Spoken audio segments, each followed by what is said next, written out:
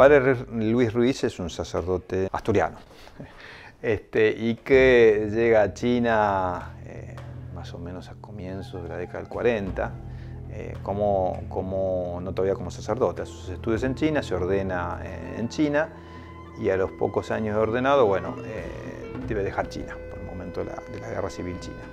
Así que él termina en Macao enfermo y como refugiado. Él con otros jesuitas viven en una casa que se la da la, diócesis de Macao, perdón,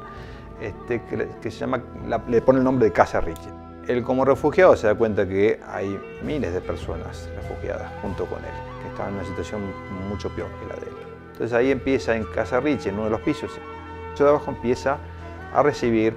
personas que venían escapándose de la situación de la guerra civil en China y le empieza a, ayudar en cuestiones muy básicas, ¿no? Arroz, harina,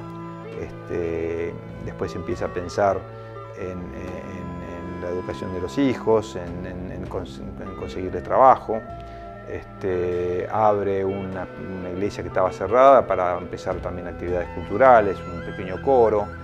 este, después empieza a, pensar, bueno, había gente que venía sola, que no tenía familia, y,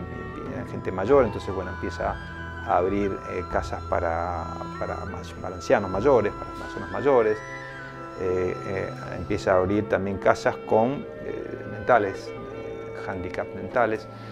Entonces ahí empieza una serie de cosas sin, estar muy organizadas, con voluntarios,